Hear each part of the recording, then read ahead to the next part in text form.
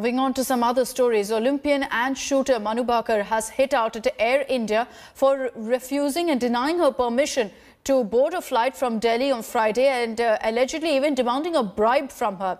Bhaker was to travel to Bhopal for training, but in a series of tweets, she revealed that she was stopped from boarding an Air India flight and was asked to pay 10,200 rupees despite all valid documentation and a DGCA permit for carrying weapons and ammunition. The 19-year-old claimed she was treated like a criminal and alleged that her mobile phone was even snatched and that an airline official deleted pictures that she took as proof on her phone.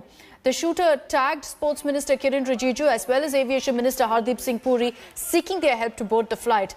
Uh, after she was allowed to board, Manu Bhaker thanked Kiren Rijiju for his support. Air India, meanwhile, has put out a statement denying all these charges that have been levelled by the Arjuna Awardee shooter and said that she was immediately allowed to board after required documents were shown and that nobody sought a bribe from her.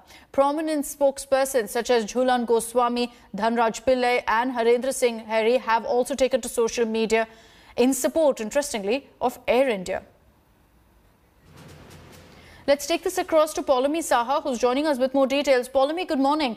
Uh, interesting developments this. You know, you've got Manu Bhaker putting out a series of allegations. We understand it took uh, the government's intervention, the sports minister's intervention to actually help her. But Air India has come out to state that none of this is true.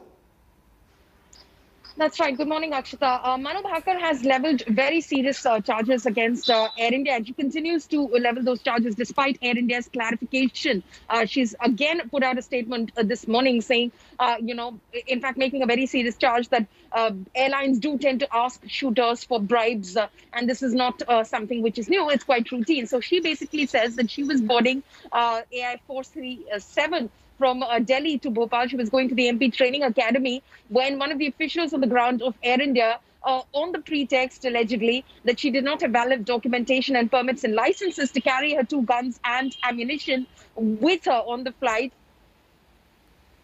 uh, sought a bribe from her. What Air India is saying is that uh, she did not have valid document, have the. Mm I did not have a stamp on a signature on my DGCA permit, but uh, since uh, January 2021, uh, uh, it's all electronic, and so you do not see a sign, a stamp, uh, or a signature on these uh, permits, and it's part of the DGCA rules, which the Air India officials should have been aware about. The changes which have been made in January 2021. Air India says she did not have the valid documentation, and what was sought from her were the charges in the absence of those valid documents. When she showed them the valid documents, was she allowed eventually to board the flight. Air India says obviously uh, that you know they have sports persons who work for the airline as well, and they have always facilitated and helped sports persons as the national carrier. Okay, uh, Poulomi, thank you for joining us with those details. Essentially, uh, he said, she said, battle here with Manu Bhaker coming out to state that she was treated like a criminal, asked to pay a bribe, Air India denying all those allegations. Hello everyone, this is Rahul Kanwal here. Hope you enjoyed this video. For the latest news and analysis, like and subscribe the India Today YouTube channel and don't forget to press the bell icon to stay updated.